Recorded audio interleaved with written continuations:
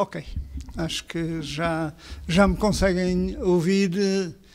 Bom, vou tentar uh, ser breve nesta, nesta apresentação, uh, não do nosso conferencista, uh, especialista da TMT, Privacidade e Cibersegurança, mas aqui só dizer-vos duas ou três. Duas ou três palavras relativamente a este evento. E relativamente a este evento, só para indicar que se trata de uma iniciativa uh, na sua gênese pensada pelo Pedro Félix, uh, do Arquivo Nacional do Som, que depois uh, também contactou com os serviços aqui da, da Direção-Geral e, em particular, com a área que tem, está sob a responsabilidade do, do Dr. Francisco Arbedo, uh, relativamente a estas matérias que têm a ver, sobretudo, com alguma da percepção e da necessidade de aprofundar uh, o debate, aprofundar o conhecimento também da preservação digital. E preservação digital uh, pensada não só na transferência de suporte, ou seja, aquilo que é essencial, uh, essa é uma outra área diferenciada, mas também aquilo que é uh, vulgarmente designado de nado digital. Ou seja, nós claramente termos uh, percepção sobre aquilo que é essencial e pensarmos em termos de património digital. Esta não é a primeira vez que a Direção-Geral uh, tem uh, desenvolvido pelo menos um conjunto significativo de trabalhos, até de jornadas que já, que já o fez, uh, e que naturalmente é uma área em aberto que nós gostaríamos de contar com a colaboração alargada, nomeadamente aqui vai-nos ser apresentado pelo Dr. João Ferreira Pinto uma perspectiva também interessante desta matéria do ponto de vista da, da segurança dos dados, mas aquilo que é o nosso core essencial, que é o património cultural, a, a, necessidade de olharmos com atenção para especificidades, para garantir o acesso continuado aos documentos digitais. Uh, isto parece quase, diríamos, um, um lugar de senso comum, um lugar de senso comum na área da cultura, porque nós estamos habituados a olhar para os documentos, uh, para a sua evidência enquanto não só suportes da informação, mas claramente também uh, pela informação que nos é transmitida. Temos alguma experiência desde as tabuinhas de argila, uh, passando depois aos papiros, passando depois àquilo que foi o pergaminho, passando ao papel, uh, tendo naturalmente uma ideia essencial: é que o património cultural não se vai esgotar no papel, não é um fim de ciclo relativamente a essa matéria, mas nós vamos continuar a produzir documentos, vamos continuar a produzir aquilo que são as evidências das nossas eh, sociedades e a ter necessidade de prova dos documentos. Uh, e uh, nesse aspecto é um, uma das características essenciais da área mais tradicional uh, dos arquivos, mas que pode ser e é certamente alargada a outras áreas uh, destas uh, da cultura. E é um pouco sobre esta matéria, é um pouco com esta expectativa que uh, gostaríamos de, mais uma vez, ter a oportunidade de aprofundar conhecimento, aprofundar também perspectivas e aprofundar aqui algumas outras iniciativas que estão a acontecer e que era significativo ter esta componente da cultura ter esta componente daquilo que é essencial uh, para a preservação e para o acesso continuado, quer na área da cultura, quer na área da ciência, a abertura e hoje cada vez mais uh, daquilo que é o acesso ao conhecimento e o acesso livre ao conhecimento como matéria essencial para o desenvolvimento. Esta tem sido uma outra linha uh, particularmente significativa que nós temos estado a tentar acompanhar, mas que naturalmente uh, queríamos aprofundar e conhecer um pouco melhor. melhor. Agradecer a presença de todos, agradecer a presença em particular daqueles que nos vão apresentar perspectivas, formas de uh, entendimento relativamente a esta, a esta forma de preservação da informação cultural e científica em formato digital.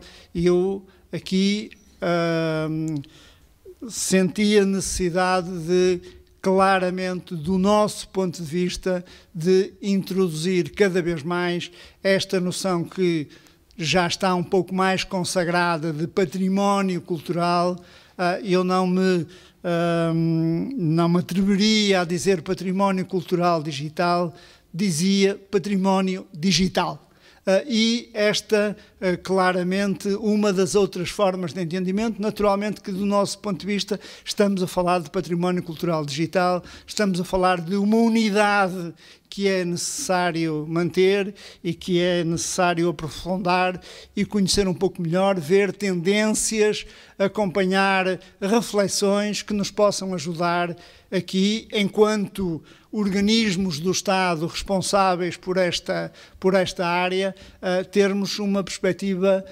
mais alargada e uma perspectiva de conhecimento mais aprofundado das uh, tendências que hoje nós aqui vamos uh, verificar. Esta intervenção já vai longa, já me uh, alonguei mais do que o que pretendia e de imediato dava então a palavra ao Dr. João Ferreira Pinto para que pudesse nos apresentar a sua, o seu trabalho, agradecendo mais uma vez a vossa presença. Muito obrigado. Doutor. Sim.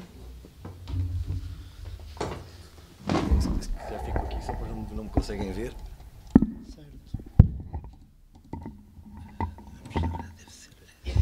Esperemos que o som possa funcionar.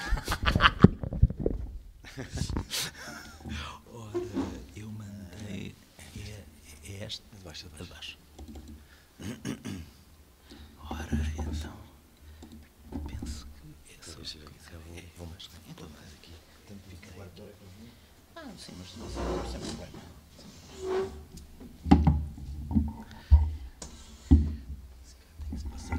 ter acesso aqui. Ok.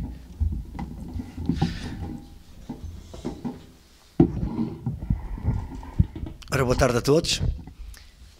Bem-vindos. Muito obrigado por este gentil convite para participar neste encontro sobre eh, preservação eh, de património e informação eh, cultural.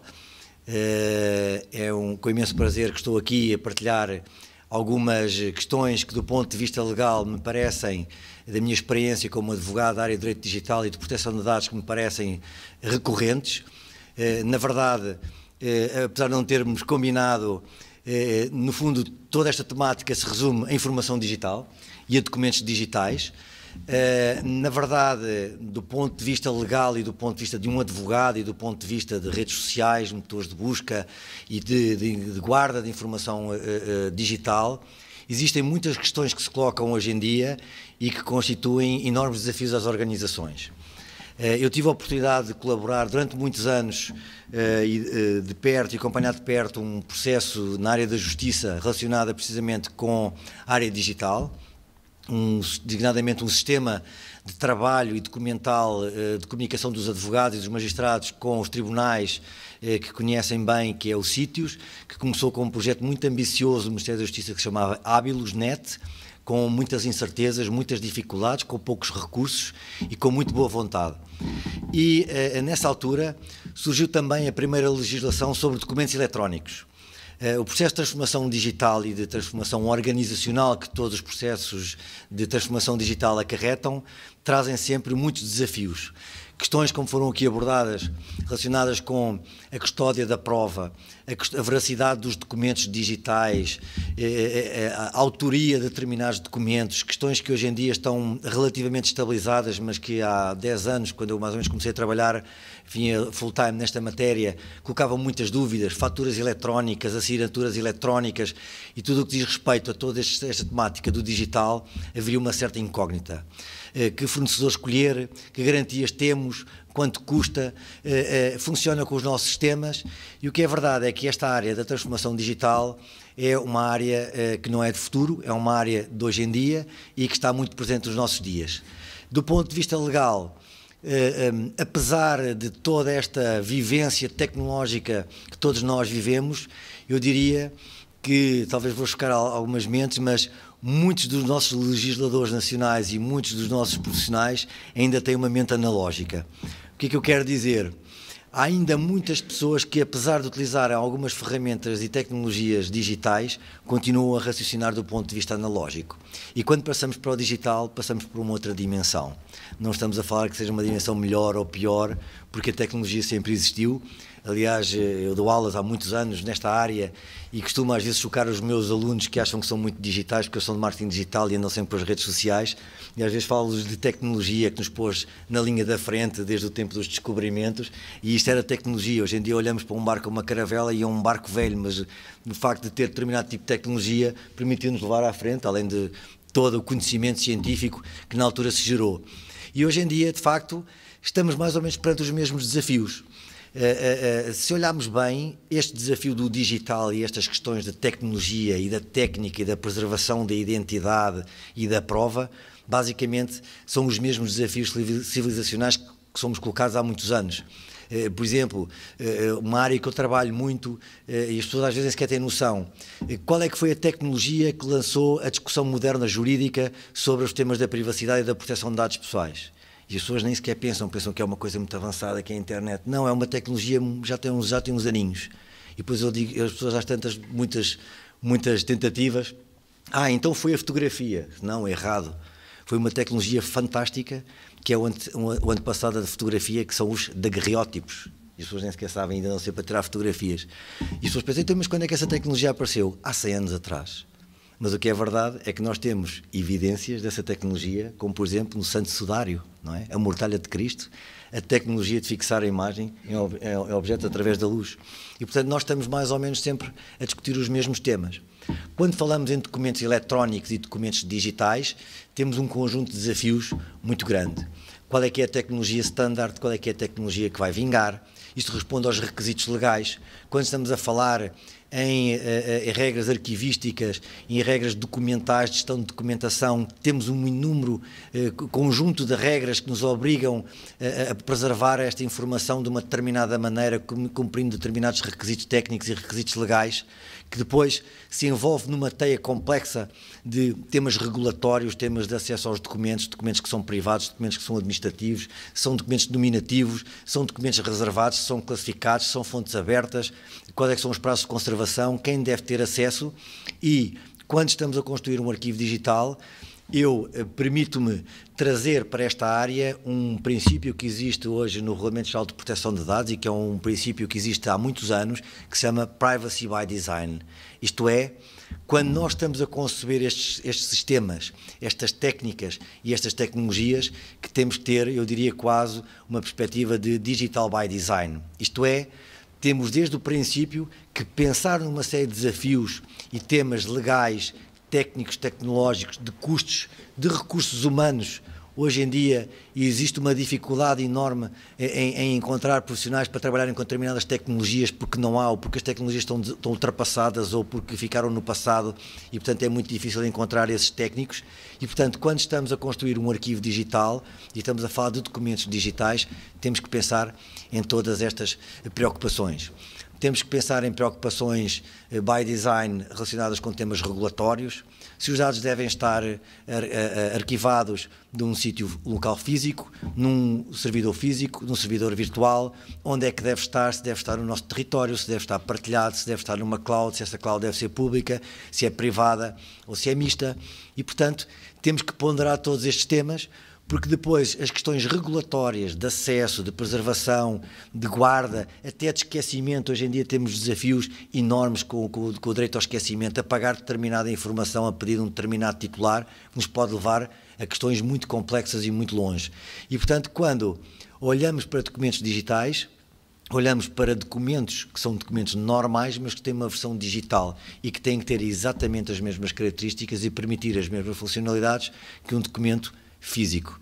E, portanto, eh, eh, uma das grandes preocupações quando tratamos eh, de um arquivo que contém esse tipo de, de, de informação, temos que considerar todos os aspectos, sendo que de acordo com estes princípios de segurança por, design, por desenho, security by design, privacy by design, outro tema também que é uma forte preocupação uh, nos formatos digitais e que é um palavrão que seguramente já devem ter ouvido falar, que se chama interoperabilidade.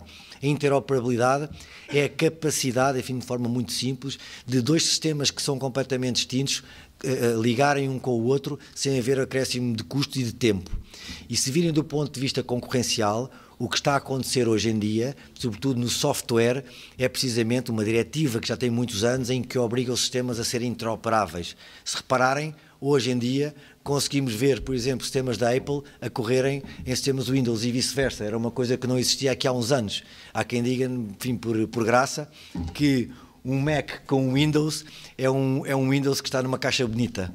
E, portanto, isso significa que há percepção da União Europeia em disciplinar estes padrões tecnológicos do ponto de vista da informação digital e dos sistemas de comunicação para obrigá-los a serem cada vez mais funcionais, para evitar ilhas, para evitar que haja uh, entorpecimentos de concorrência, Muitas das questões que vemos com os grandes fabricantes têm a ver precisamente com isto. Sistemas de ações gigantescas da Comissão Europeia contra a Google, contra a Microsoft eh, e contra outros grandes providers que todos conhecemos, têm precisamente a ver com o facto de ser concorrencial e ser benéfico para todos que estas tecnologias não sejam propriamente abertas, porque são proprietárias, mas que tenham a capacidade de ser interoperáveis com estes sistemas.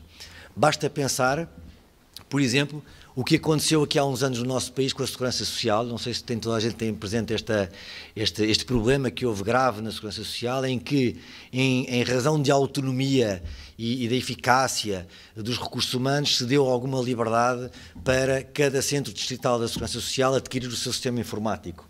E houve alguns centros regionais que foram para um sistema e outros que foram para outros e depois outros que foram para um sistemas de uh, uh, fonte aberta ou open source e depois chegou-se a um determinado resultado que é uma pessoa que está desempregada no Algarve, se tiver que ir viver, se viver em Bragança, tem que ir lá pessoalmente porque o documento não existe e não comunica com o outro sistema. Ora, isso é inadmissível e, portanto, do ponto de vista da administração pública eh, digital, um, uma área onde, em termos comparativos, nós estamos muito na linha da frente, isso não pode acontecer. Não sei se têm conhecimento, existe hoje em dia um processo de transformação digital muito grande a correr na União Europeia que se chama Agenda Europa 2020, a agenda digital, que todos conhecem de, dos vários fundos. Eu costumo dizer que 2020 é já daqui a dois ou três meses e, portanto, há muito que fazer e que tem vários planos do ponto de vista tecnológico, legal, concorrencial, digital skills, uma área onde o nosso país tem um déficit imenso e existe inclusivamente, e está disponível nas fontes da, da, da Comissão Europeia, uma agenda com um digital score de cada país. O país mais avançado da União Europeia é a Dinamarca no mundo, o país digitalmente mais avançado é a Coreia do Sul. Nós, enfim, estamos mais ou menos a meio da tabela e existem vários índices. E um dos índices onde estamos muito atrás é precisamente na Digital Skills. Como costumo dizer, há muitas pessoas que, apesar de utilizarem algumas tecnologias, ainda são muito analógicas. E, portanto, temos que dar aqui o salto. E dar o salto é precisamente formar pessoas, formar recursos humanos, desenvolver tecnologias, desenvolver uma cultura digital sempre neste respeito dos requisitos que existem no mundo físico também para o digital, porque eles não são diferentes, porque eles espelham o mundo digital. Basicamente, este era um, mais ou menos, não fiquei a passar muito, eu, são, as, são as, as, as, questões que queria partilhar convosco e fico se calhar aqui ao vosso dispor para alguma questão que queiram colocar. Muito obrigado. Muito obrigado. Uh...